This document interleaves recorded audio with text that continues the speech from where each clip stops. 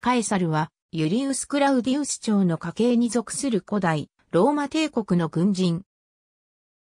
父はネロ・クラウディウス・ドゥルースス、母はマルクス・アントニウスの娘の小アントニアの子として生まれる。父方の祖母、リウやドルシルラが父を解任後、初代皇帝アウグストゥスと再婚していることから、アウグストゥスの痕跡として生まれた。二代皇帝ティベリウスは叔父にあたる。弟は、後の第四代皇帝、クラウディウス。父ドゥルーススは有能な軍人で、ゲルマニアやドナウ川流域にゲルマン人をよく防いだが、マルコマンニ族との戦いの際に落馬し、紀元前9年に29歳で死去した。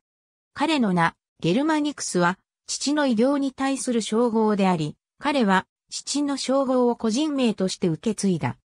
アウグストゥスは自分の血とつながるゲルマニクスを自身の後継者と考えていたがまだ若いため、ティベリウスを養子に迎える際にゲルマニクスを養子とすることを求めた。アウグストゥスにとってティベリウスはゲルマニクスまでの中継ぎと考えていたからである。ティベリウスの実子小ドルススとは周囲からはライバルとも思われたが、二人の仲は非常に親密だった。アウグストゥスが14年に死去した後、ゲルマニクスは元老院の命によりゲルマニアへ赴いた。その直後、兵士から人気のなかったティベリウスが帝位を継いだという知らせを聞いて、ゲルマニアで反乱が勃発、ティベリウスへの忠誠を拒否し、ゲルマニクスを帝位に擁立しようと試みる。しかし彼はこれを拒否、あくまでもアウグストゥスの意志を尊重して、反乱を沈静化、自らは司令官の地位に止まった。この時の態度で彼は、軍団の忠誠と人気を勝ち取り、勢いに乗って、ゲルマニアに侵攻、ルール川上流のゲルマン部族、マルシ族を殲滅した。次に、トイトブルクの戦いで、ローマに大敗を与えたアルミニウスを核とする、ゲルマン部族の連帯を切り崩す作戦を展開する。この作戦で15年にアルミニウスの妻を捕虜にするなど、先行も挙げた。しかしゲルマン人を敗走させて土地を荒らし回ったとはいえ、森の奥深くに逃げ隠れるゲルマン人に対しては決定的な打撃は与えられなかった。その後、トイトブルクの戦いの跡地を訪れ、放置されていたローマ兵の遺体を弔う。そしてアルミニウス率いるケルスキ族に大攻勢を仕掛ける。しかし、ローマの騎兵部隊はアルミニウスの罠にはまり殲滅され、ローマ兵士の半分は戦闘で、もう半分が嵐で大打撃を受け、それ以上の作戦展開が無理となり撤退した。ティベリウスの考えでは兵を進めるのには懐疑的だったが、翌16年にゲルマニクスは大軍を率いて再度、ゲルマニアに侵攻する。犠牲を出しながらベーザー側を渡航、その先でアルミニウスの軍と激突する。両軍ともに消耗が激しく、アルミニウスは手傷を負いながらも、かろうじて軍を撤退させることに成功。ゲルマニクスは敵の本拠地まで兵を進めることはできなかった。さらに、ハノーハー近郊で再び相まみえ、互いに損傷を出しながらも決着はつかなかった。そして撤退の際に今度は、北海で軍の多数が遭難、友軍が手ひどい被害を受ける。しかしながら、ゲルマン人に奪われた三つの軍機のうち二つを取り返すという快挙を成し遂げた。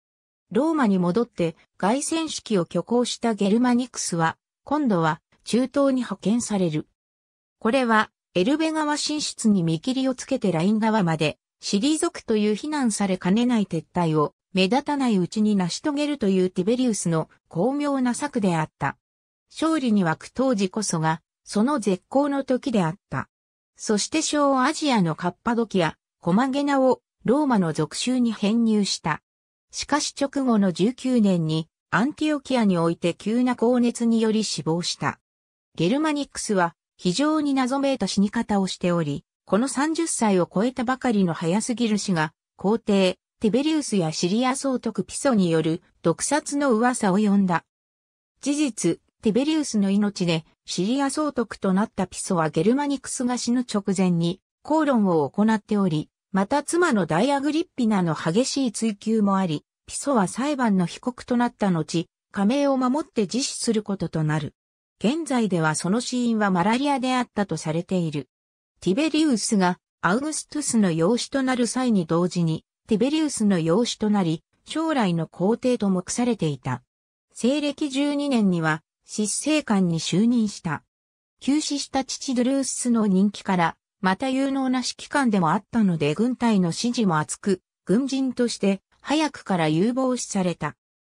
また妻アグリッピーナと子供を常に同伴していたが、彼の家族は軍団からも愛され、ティベリウスの帝位継承時に起こった軍団の一時的先制拒否の際、彼らの暴走を危惧したゲルマニクスは妻子をガリア族州内に移送しようとしたが、その姿を見た軍団兵たちが泣きながら許しを請うた。という逸話も存在する。そしてローマ市民からも、先行と誠実な人柄から絶大な人気があった。ゲルマニックスはアウグストゥスの孫のダイアグリッピナを妻とし、9人の子を設けたが、そのうち成人を迎えたのはの6人である。成人はしたものの全員が非業の死を迎えている。ありがとうございます。